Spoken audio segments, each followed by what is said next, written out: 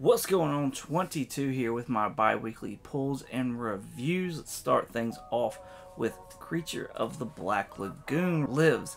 This is issue 4.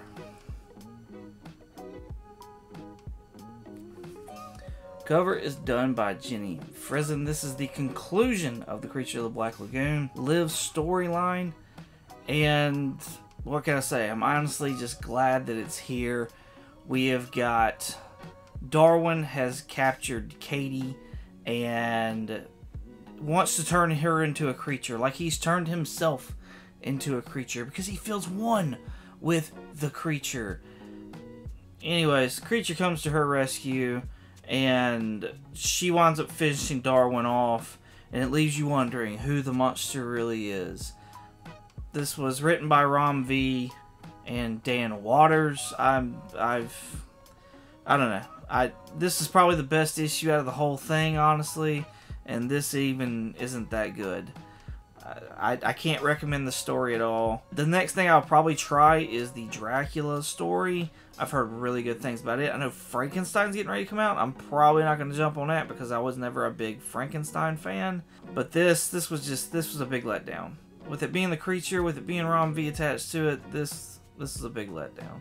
The best thing about this whole series was the covers. They had some amazing covers done by some amazing artists throughout this. So they really did have some really good cover buys if you were a creature fan. But the story, not so much. So I my suggestion, pass on this one. This was a cover buy right here, The Incredible Hulk number 14. This features Gabriel Dell'Otto cover art honestly, I'm disappointed in this one. I, I saw where he was going to be doing a Hulk. I thought that'd be really, really cool.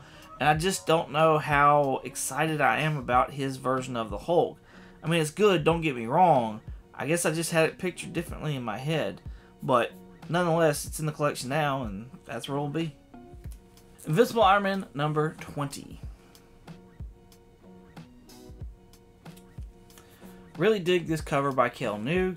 This is the last issue of this volume of Iron Man. There is another volume that is coming out though, so be on the lookout for that.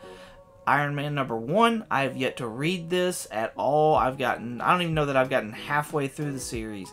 So I definitely need to do some catching up on this, especially while I got like about a month gap before that new number one comes out. This is written by Gerry Duggan, and yeah, the finale of that volume of Iron Man.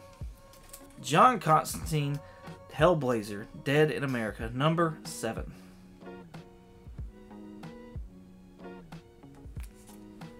I'm so tired of this book. I'm, I'm done.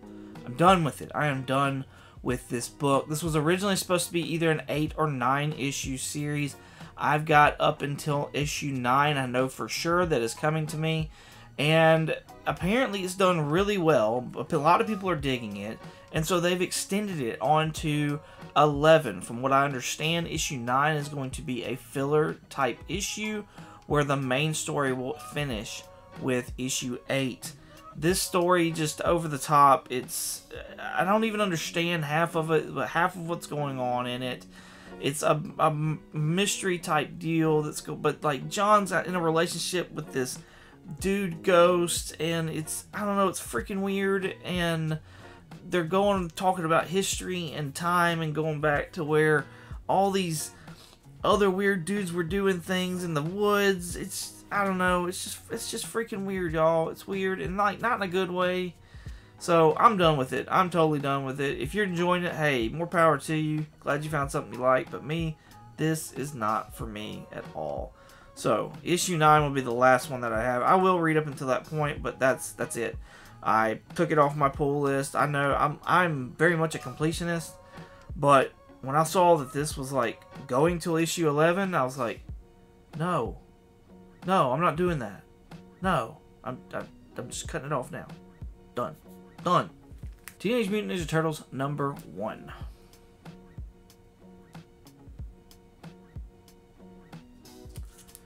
This is written by Alabama boy himself, Jason Aaron, along with artwork from Joëlle Jones. This is a continuation of the previous IDW run of Teenage Mutant Ninja Turtles, but this is the new jumping on point with current now writer Jason Aaron. Raphael is in prison. Now, I didn't keep up with the last run, so I had no idea exactly how Raph is in there. And I think it's meant to be that way. It seems like the turtles are dispersed, which is another reason why there's the Night Watcher series that's coming out as well that talks about the Teenage Mutant Ninja Turtles not being around, and so there need to be a protector of New York. Raph is in prison, but we see that he's got to deal with the warden, and there's paperwork on that. The Foot have come caused some issues and stolen the paperwork. This so far is freaking fantastic. Absolutely fantastic. There is some graphic stuff in here which goes along with like old turtle type things or type content. Uh, Raphael's sais were used to impale a man in this. I'm not saying it was Raph that did Raph that did it, but they do you do get you do see that and you do see blood and stuff like that. It's not gruesome, it's not gory or anything, but you do see that. I believe there's some language in here as well. So maybe not necessarily for kids, but man, this was this this is a good jumping on point. If you're if you have been wanting to get into turtles but didn't know where to start, now's the time. Pick up this. Fantastic. This issue was fantastic. The artwork is fantastic as well. Thundercats number six.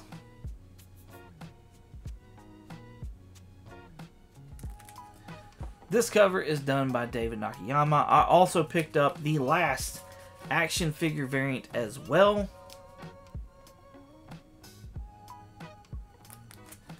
So glad that I'm done with those, honestly, because they were they left more to be desired, really. Um, or however that saying goes. Going back to this cover. This cover is lying to you for the most part we do see the vultures, the uh, mut- mutants, and uh, Panthro is driving the tank, and that's pretty much the entire issue. Now he winds up fighting the vultures, and this is this was a fun action-packed issue right here. This was really really fun compared to the last issue where it was Cheetara and Lion-O talking about Destiny and like how he's to be a leader and whether or not he should be and all this other jazz. This right here, this this was a fun action-packed issue, and it was just Panthro driving a tank fighting off mutants. The writer, I can't remember his name right now. I believe he also did the artwork for this issue, so it's back to the original like first run, first trade, I guess, of artwork.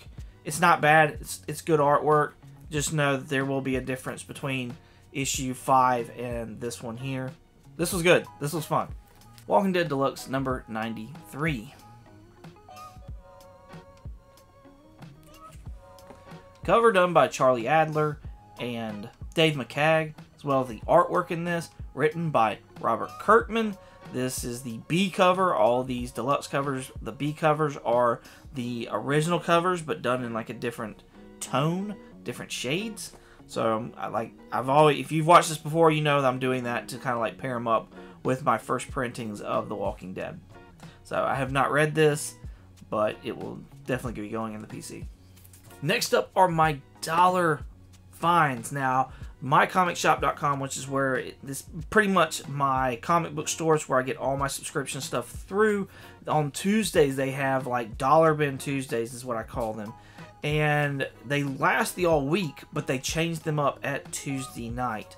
So that's you know I, I set some time aside just to jump in there right at the beginning of it because a lot of stuff gets picked through and get pulls out quick. But this is the stuff that I got from there. Here is Green Lantern number nine.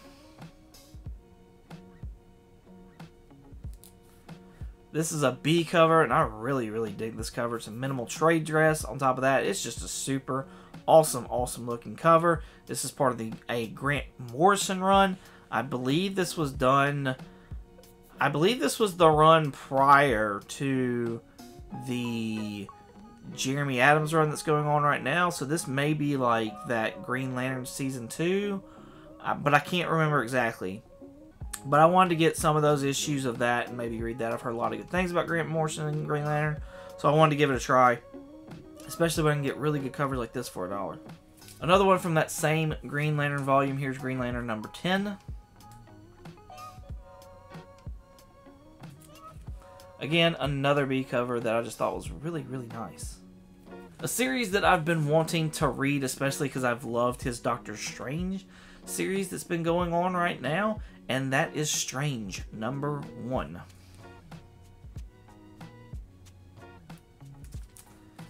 Now, this is the Skottie Young variant, and I picked up not one but three copies of it for a dollar a piece. I just thought this was a great deal. There are several other ones there, so I didn't feel bad for picking up, you know, a few of them.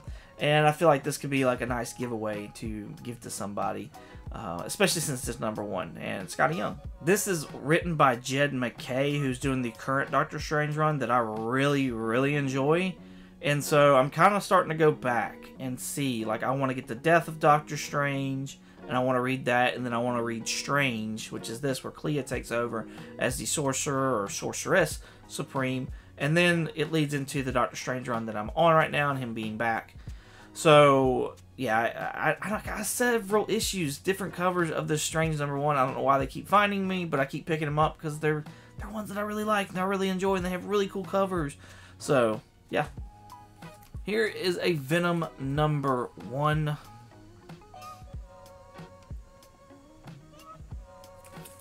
This is a Gabriel Dell'Otto variant for this Venom number one, and I, am not even like, I don't really like his Venom all that much, but I saw this and I saw dollar and I was like, yeah, yeah, let's get that. Let's get that. So, nice addition to the Gabriel Dell'Otto collection. Not only do they put comic book single issues on sale for a dollar. They also have trades sometimes that you'll find for a dollar. And so I've been collecting these as well. This is the Walking Dead trade number five. As well as the trade number 25. I figure if you can pick a trade up for a dollar, that's a really, really good buy. And Walking Dead is one that I've been trying to steadily pick up, is just pick up these trades. I've been really lucky and have found a lot of these for a dollar and less, honestly. So uh, it's filling out quite nicely. I don't know that I'll be able to go all the way with a dollar or less pickups, but I'm going to keep trying. So there you have it. Thank y'all so much for watching. Let me know down in the comments what is it that you're reading and what do you think of these that I have. Let me know if you're reading the same issues, the same books that I am reading. Thank y'all so much for watching. You can find me on the Comically Comics podcast every Monday on all podcatchers, including Apple Podcasts and Spotify. That same episode will be on our YouTube channel, Comically Comics Podcast, on Wednesday. So check us out there. If you haven't already, you can find me on Instagram, eBay, and Shortbox at 22 underscore comics. Once again, thank y'all so much for watching, and as always, y'all have a good one.